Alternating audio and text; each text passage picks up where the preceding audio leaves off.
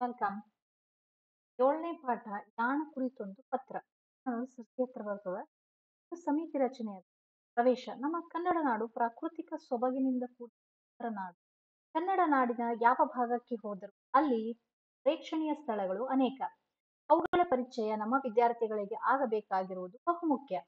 ಇಲ್ಲಿ ಚಾರಣಕ್ಕೆ ಸಿದ್ಧವಾದ ಯಾಣದ ಪರಿಚಯ ಮೂಡಿಕೊಡುವ ಮಾಡಿಕೊಡುವ ಮಾಡಲಾಗಿದೆ. ಅಲ್ಲಿ ಪ್ರವಾಸಕ್ಕೆ ಹೋಗ್ಬೇಕು.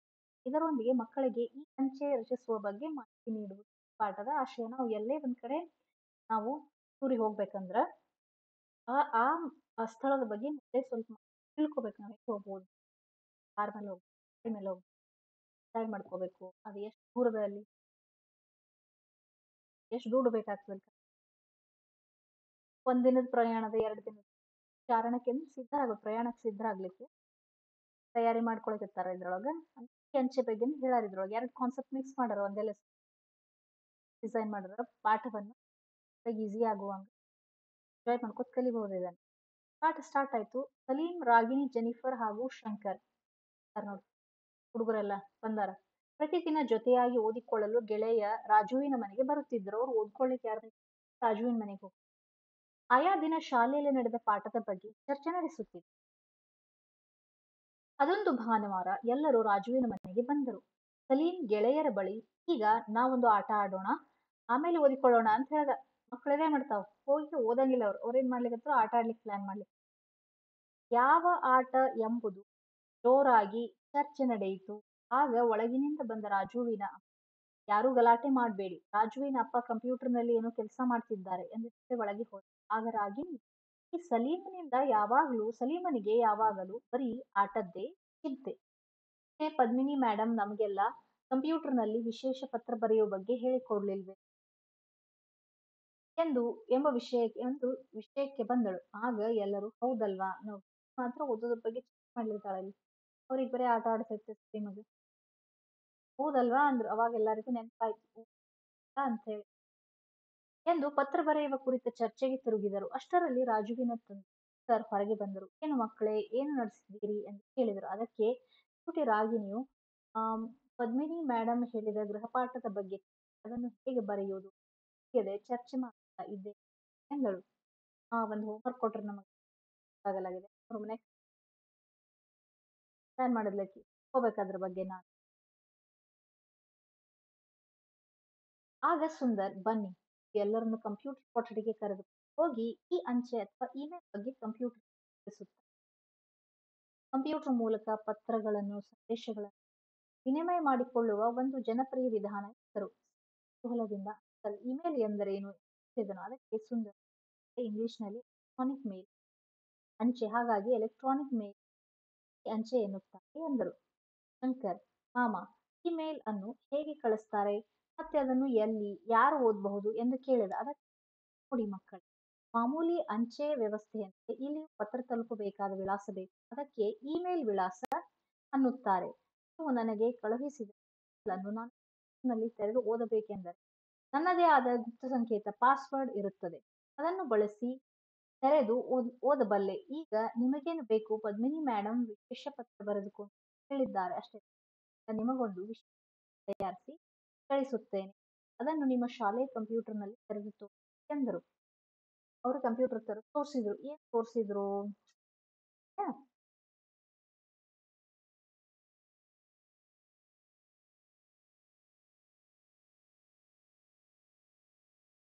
ಗೂಗಲ್ ಕ್ರೋಮಿಗೆ ಹೋಗ್ಬೇಕು. ಗೂಗಲ್ ಓಪನ್ ಆಯ್ತಿಲ್ಲ ಇಲ್ಲ. ಅಂತ ಹೊಡಿ ಫಸ್ಟ್ ಅಕೌಂಟ್ ಫಸ್ಟ್ ನೇಮ್ ಕೊಡಬೇಕು. ಏನು ಫಸ್ಟ್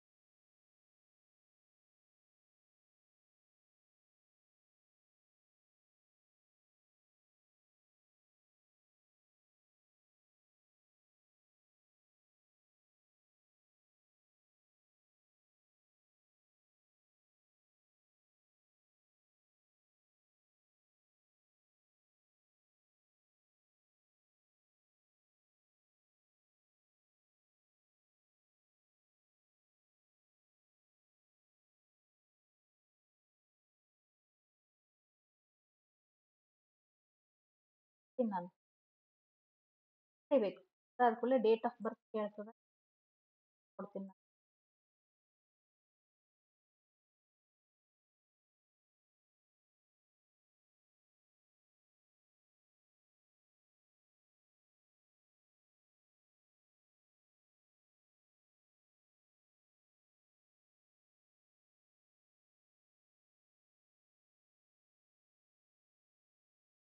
ಪಾಸ್ವರ್ಡ್ ಗುಪ್ತ ಅಂತ ಹೇಳ್ತದಲ್ಲ ಅದ್ರಾಗ ಪಾಸ್ವರ್ಡ್ ನಾವು ಕ್ರಿಯೇಟ್ ಮಾಡ್ಕೊ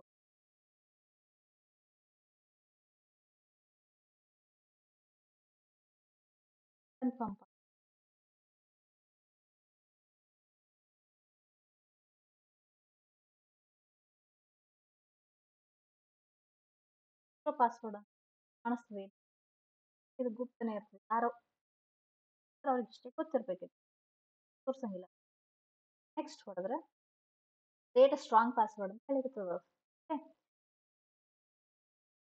ಹೋಗ್ತದೆ. ನೆಕ್ಸ್ಟ್ ಕ್ಲಿಕ್ ಮಾಡಿದ್ರೆ ಆಮೇಲೆ ಫೋನ್ ನಂಬರ್ ಕೇಳುತ್ತೆ.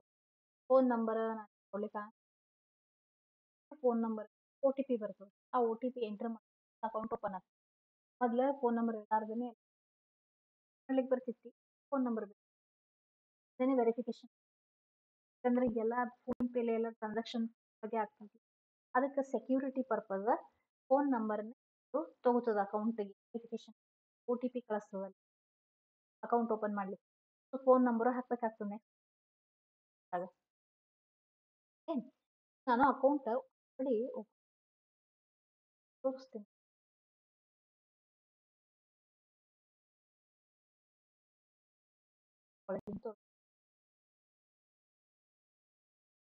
ಇಟ್ಟಿದ್ದದ ಈ ಪಾಸ್ವರ್ಡ್ ಕೊಟ್ಟು ಲಾಗಿನ್ ಹೊಡೆದ್ರೆ ಅವಾಗ ಲಾಗಿನ್ ಆಗಿ ಅವಾಗ ಇನ್ಬಾಕ್ಸ್ ಇಲ್ಲಿ ಬಂದು ಇಮೇಲ್ ಬಿದ್ದಿರ್ತಾವೆ ಇವೆಲ್ಲ ಇನ್ಬಾಕ್ಸ್ನಾಗ ಕಂಪೋಸ್ ಅಂತ ಹೊಡೆದ್ರೆ ನೀವು ಇಮೇಲ್ ಬರೀಬಹುದು, ಹಿಂಗೆ ಬರ್ತದೆ, ಒಂದು ವಿಂಡೋ ಓಪನ್ ಆಗ್ತದೆ ಅಂತ ಹೇಳಿದ್ರೆ. ಅಡ್ರೆಸ್ ಹಾಕ್ಬೇಕು ನೀವು. ಅದಂತ ಆಟ್ ಜಿಮೇಲ್ ಡಾಟ್ ಕಾಮ್ ಅಂತ ಬರೀ, ಇಲ್ಲಿ ಸಬ್ಜೆಕ್ಟ್ ಬರೀಬೇಕು, ಅದ್ರ ಬಗ್ಗೆ ಬರೀಲಿಕ್ಕೆ. ನಿಮ್ದು ಮೇನ್ ಲೆಟ್ರ್ ಏನಿರ್ತದಲ್ಲ, ಮಾಮೂಲಿ ಲೆಟ್ರ್ ಡಿಯರ್ ಬರೆದು ಬರೀತೀರಿ ಥ್ಯಾಂಕ್ ಯು ಅಂತ ಲಾಸ್ಟಿಗೆ ಬರೀತೀರಿ ಡೇಟ್ ಹಾಕ್ತೀರಿ, ಏನು ಹಾಕ್ತೀರಿ ಬರೀತೀರಿ ಸೆಂಡ್ ಅನ್ಬೇಕು, ಅದು ಅವ್ರಿಗೆ ಹೋಗ್ತದೆ ಲೆಟರ್ ಅದು ಓಕೆ ಮಾಡಂಗಿಲ್ಲ ಈಗ. ಆಲ್ರೆಡಿ ಬಂದಿದ್ದದ ಬಂದು ಲೆಟರ್ಸ್ ಬಂದ ಓಪನ್ ಮಾಡಿ ನೋಡಿದ್ರೆ ಮಾಡಿದ್ರೆ ಲೆಟ್ರ್ ಓಪನ್ ಆಗಿ ಕಳಿಸ್ರ ಲೆಟ್ರ್ ಏನು ಬಂದು? ಜಾಬ್ ಲೆಟ್ರ್ ಬಂದು. ಜಾಬ್ ನೋಡಿ ಲೆಟ್ರ್ ಓಪನ್ ಮಾಡಿ ನೋಡ್ಬೋದು ಇನ್ಬಾಕ್ಸ್ನಾಗ ಏನು ಬಂದಾವ ಲೆಟ್ರ್ ಶಂಕರ್, ಮಾಮ ಇಮೇಲ್ ಅನ್ನು ಹೇಗೆ ಕಳಿಸುತ್ತಾರೆ? ಮತ್ತೆ ಅದನ್ನು ಎಲ್ಲಿ ಓದಬಹುದು? ಕೇಳ್ದ, ಈಗ ಆಲ್ರೆಡಿ ತೋರಿಸಿದ್ನಲ್ಲ ಅಕೌಂಟ್ ಓಪನ್ ಹೆಂಗ್ ಮಾಡ್ತಾರ? ಪಾಸ್ವರ್ಡ್ ಹೆಂಗ್ ಕೊಡ್ತಾರ? ತೆಗೆದು ಬಾಕ್ಸ್ ಹೆಂಗ್ ನೋಡ್ತಾರೆ? ಹೆಂಗ್ ಇರ್ತದ ನೋಡಿದ್ರಲ್ಲ ಅದಕ್ಕೆ ಸುಂದರ್, ನೋಡಿ ಮಕ್ಕಳೇ, ಮಾಮೂಲಿ ಅಂಚೆ ವ್ಯವಸ್ಥೆ. ಪತ್ರ ತಲುಪಬೇಕಾದ ವಿಳಾಸ ಬೇಕು. ವಿಳಾಸ ಯಾವುದು? ಜ್ಞಾನದಂತಕ್ಕೆ ಆಟ್ ಜಿಮೇಲ್ ಡಾಟ್ ಕಾಮ್ ಇದಕ್ಕೆ ಇಮೇಲ್ ವಿಳಾಸ ಅನ್ನುತ್ತಾರೆ. ನೀವು ಮನೆಗೆ ಕಳುಹಿಸಿದ ಇಮೇಲ್ ಅನ್ನು ನಾನು ಕಂಪ್ಯೂಟರ್ನಲ್ಲಿ ತೆರೆದು ಓದಬೇಕು. ನನ್ನದೇ ಆದ ಗುಪ್ತ ಪಾಸ್ವರ್ಡ್ ಇರಬೇಕು ಪಾಸ್ವರ್ಡ್ ಅಲ್ಲಿ ಗುಪ್ತ ಇರ್ತದೆ ಕಾಣಿಸಂಗಿಲ್ಲ ಗೊತ್ತಾ? ಅದನ್ನು ಬಳಸಿ ತೆರೆದು ಓದಬಲ್ಲೆ. ಈಗ ನಿಮಗೇನು ಬೇಕು? ಪದ್ಮಿನಿ ಮೇಡಮ್ ವಿಶೇಷ ಬರೆದುಕೊಂಡು ತಾನೆ? ಈಗ ನಿಮಗೊಂದು ವಿಶೇಷ ತಯಾರಿಸಿ ಕಳಿಸುತ್ತೇನೆ. ಅದನ್ನು ನಿಮ್ಮ ಶಾಲೆಯ ಕಂಪ್ಯೂಟರ್ನಲ್ಲಿ ತೆರೆದು ತೋರಿಸಿ ತರು. ಅದಕ್ಕೆ ರಾಗಿಣಿ. ಅದು ಹೇಗೆ ಮಾಮ ಎಂದಳು? ಆಗ ಸುಂದರ್ ನನ್ನ ಮಗನಿಗೆ ಕಂಪ್ಯೂಟರ್ ಬಳಸುವ ಬಗ್ಗೆ ಸ್ವಲ್ಪ ಗೊತ್ತಿದೆ. ಅವನ ಹೆಸರಿನಲ್ಲಿ ಒಂದು ತಯಾರಿಸಿ ಒಂದು ಗುಪ್ತ ಸಂಕೇತ ಕೊಡುತ್ತೆ. ಅವನದೊಂದು ಇಮೇಲ್ ಐ ಡಿ ಓಪನ್ ಮಾಡ್ತೀನಿ. ಅವನದು ಇಮೇಲ್ ಲಾಗಿನ್ ಓಪನ್ ಮಾಡಿ ತೋರಿಸ್ರಿ ನೀವು ಹೇಳ್ತಾರೆ ಅವರು. ಕೊಡುತ್ತೇನೆ ನೋಡುತ್ತೀರಿ ಎಂದರು. ಅಂದರೆ ಇಮೇಲ್ ರಚಿಸುವುದನ್ನು ಮಕ್ಕಳು ಕುತೂಹಲದಿಂದ ರಾಜುವಿನ ಹೆಸರು ವಿಳಾಸ ತಯಾರಿಸಿದರು. ಗುಪ್ತ ಸಂಕೇತವನ್ನು ರಾಜುವಿಗೆ ತಿಳಿಸಿದರು. ರಾಜು ಮಾತ್ರ ಹೇಳಿದ್ರು. ಪಾಸ್ವರ್ಡ್ ಯಾಕಂದ್ರೆ ಅದು ಗುಪ್ತಾಗೆ ಇಡ್ಬೇಕು ನಾವು. ಆಗ ಸಲೀಂ ಮಾಮ. ಏಕೆ ಗುಪ್ತ ಸಂಕೇತವನ್ನು ರಾಜುವಿಗೆ ಮಾತ್ರ ಹೇಳಿದ್ರೆ ನಮಗೆ ಹೇಳಿಲ್ಲ. ಯಾಕೆ? ಯಾಕಂದ್ರೆ ಅದು ಅಕೌಂಟ್ ರಾಜುವಿಂದ. ಅವನಿಗೆ ಇಷ್ಟೇ ಇದ್ರೆ ಪಾಸ್ವರ್ಡ್ ಗೊತ್ತಿರುತ್ತೆ. ಅವನಿಗೆ ಬಂದಿದ್ದ ಎಲ್ಲ ಬೇರೆಯವ್ರು ಓದ್ಬೋದು. ಅದಕ್ಕೆ ಸುಂದರ್ ನೋಡ್ಸಲಿ ಒಬ್ಬರ ಗುಪ್ತ ಸಂಕೇತ ಇನ್ನೊಬ್ಬರಿಗೆ ಗೊತ್ತಾಗಬಾರದು. ಗೊತ್ತಾದರೆ ಯಾರು ಬೇಕಾದರೂ ಪತ್ರ ಓದಬಹುದಲ್ವೇ? ಬೇರೆಯವರ ಪತ್ರ ನಾವು ಓದಬಾರ್ದಲ್ವೇ? ಅದಕ್ಕಾಗಿ ಗುಪ್ತ ಸಂಕೇತ ಅವನಿಗೆ ಮಾತ್ರ ಹೇಳಿದ್ದು ಎಂದರು. Raju, Sundar at Gmail dot com through ಅಡ್ಡ ಹೆಸರು ಅಟ್ ಜಿಮೇಲ್ ಡಾಟ್ ಕಾಮ್ ಅಂತ ಏನಿದು? ಅಡ್ರೆಸ್ ಅದ್ರದ್ದು. ಎಲ್ಲಿ ಹೋಗಿ ಬೀಳ್ಬೇಕದು ಈ ಇದು ರಾಜುವಿನ ಇಮೇಲ್ ವಿಳಾಸ ನಾವು ಏನು ಓಪನ್ ಮಾಡಿದ್ವಿ?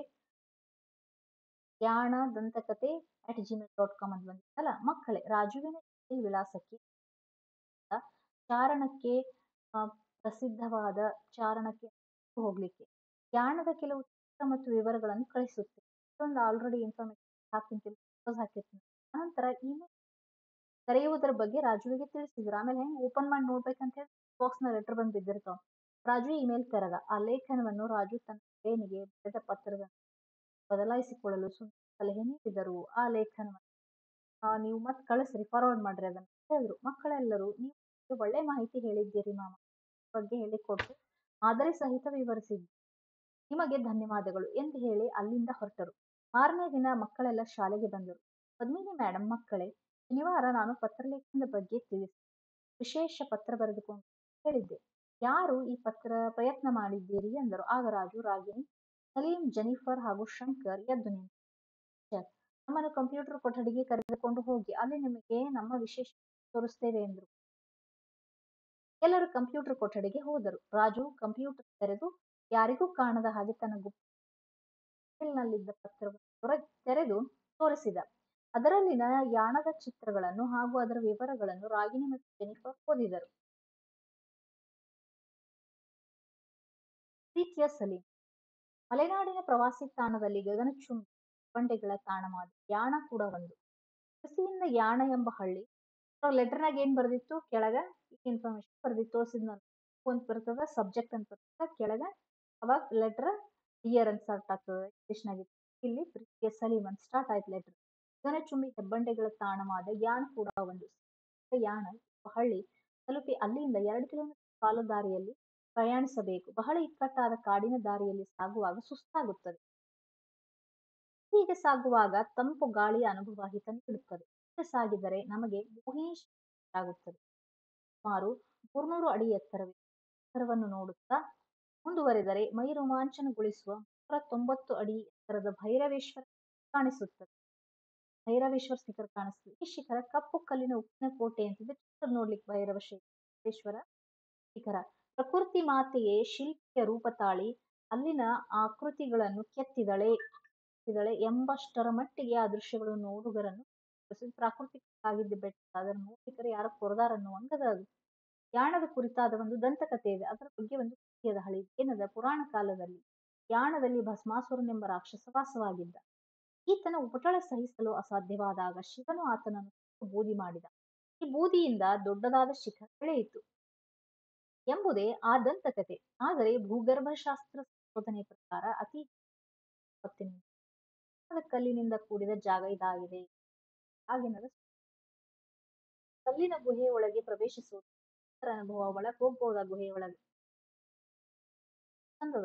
ಯಾಣ ಕುಮಟಾ ತಾಲೂಕಿಗೆ ಹೊಂದಿಕೊಂಡಿದ್ದು. ಅಲ್ಲಿಂದ ಇಪ್ಪತ್ತೈದು ಕಿಲೋಮೀಟರ್ ದೂರದಲ್ಲಿ ಕುಮಟಾದಿಂದ ಹೋಗ್ಬೋದು ಕಿಲೋಮೀಟರ್ ಅಲ್ಲಿ ಶಿವರಾತ್ರಿಯ ದಿನ ಭೈರವೇಶ್ವರ ಸ್ವಾಮಿಯ ಉತ್ಸವ ನಡೆಯುತ್ತದೆ. ಶಿವರಾತ್ರಿ ದಿನ ಈ ಸ್ವಾಮಿ ಆಗ್ತದಲ್ಲ ಭೈರವೇಶ್ವರ ಸ್ವಾಮಿ ಉತ್ಸವ ನಡೀತದೆ ಶಿವರಾತ್ರಿ ದಿನ.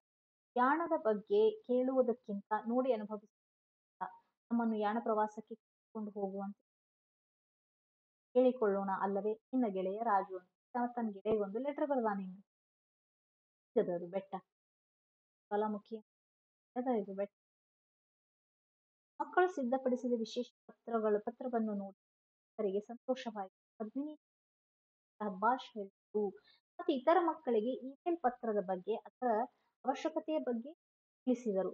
ಯಾಣಕ್ಕೆ ಪ್ರವಾಸ ಹೋಗೋಣ ಆಯ್ತು, ನಾವು ಪ್ರವಾಸಕ್ಕೆ ಯಾಣಕ್ಕೆ ಹೋಗೋಣ ಹೇಳಿದರು. ಮಕ್ಕಳಿಗೆಲ್ಲ ಸಂತೋಷವಾಯಿತು ಮಕ್ಕಳು. ಸಂತೋಷ ಆಯಿತು. ಚಿತ್ರ ಬರೆಯುವುದು ಸಾಮರ್ಥ್ಯ ಉಭಯ ಪತ್ರ ಮತ್ತು ಪ್ರವಾಸ ಲೇಖನಗಳ ಎರಡು ಲೆಟರ್ ಬರೆಯುವುದು ಪಾಠ. ಪದಗಳ ಅರ್ಥ ಇಂಪಾರ್ಟೆಂಟ್ ಓದ್ಬೇಕು ಒಂದ್ಸರ್ತಿ ಇಬೇಕು ಸಂದೇಶ ಅಂದ್ರ ಸುದ್ದಿ, ರೂಪ. ವಿನಿಮಯ ಅಂದ್ರ ಒಂದಕ್ಕೆ ಬದಲಾಗಿ ಕೊಡುವುದು, ಕೊಡುವಿಕೆ. ಅದಲು ಬದಲು ಮಾಡಿಕೊಳ್ಳುವುದು. ಚೂಟಿ ಅಂದ್ರೇನು? ಚುರುಕು ಲವಲವಿಕೆಯಿಂದಿರುವುದು ವಿಶೇಷ ಪ್ರತ್ಯೇಕವಾದ, ವಿಶಿಷ್ಟವಾದ ಗಗನಚುಂಬಿ ಅಂದ್ರ ಆಕಾಶವನ್ನು ಬಹಳ ಎತ್ತರವಾದುದು, ಹೆಬ್ಬಂಡೆ, ದೊಡ್ಡದಾದ ಕಲ್ಲು. ಕಟ್ಟು ಅಂದ್ರೆ ಸಂದಿಗ್ಧ. ಕಿರಿದಾದ ದಾರಿ. ಥರ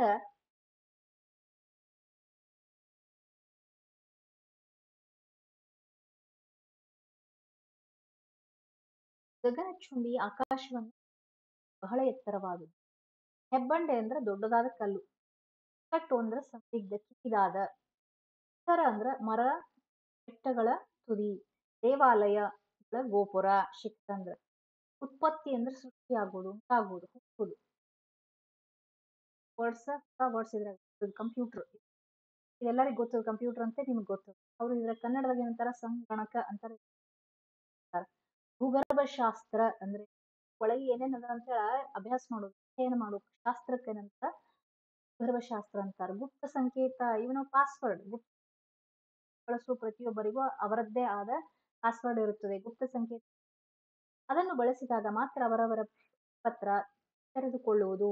ಗುಪ್ತ ಸಂಕೇತವನ್ನು ಪಾಸ್ವರ್ಡ್ ಕಾರಣ ಗುಡ್ಡಗಳ ಕಡೆಗೆ ಸಾಹಸದ ಕಾರಣಕ್ಕೆ ಪ್ರವಾಸ ಹೋಗೋದು ಯಾವ ರೀತಿ ಪ್ರವಾಸ ಹೋಗೋದು ಟ್ರೆಕ್ಕಿಂಗ್ ಅಂತ ಗೊತ್ತಾ?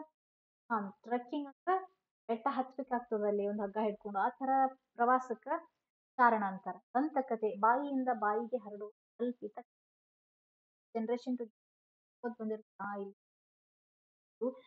ಯಾವುದೇ ಪುರಾವೆ ಇರಂಗಿಲ್ಲ ಬಾಯಿಯಿಂದ ಬಂದಿರ್ ಬಂದಂತಹ ನೆಕ್ಸ್ಟ್ ಕ್ವಶನ್ ಅದನ್ನು ನಾವು ಕ್ಲಾಸಲ್ಲಿ ನೋಡಿ bye bye please subscribe channel and bell icon. That's it. Bye bye.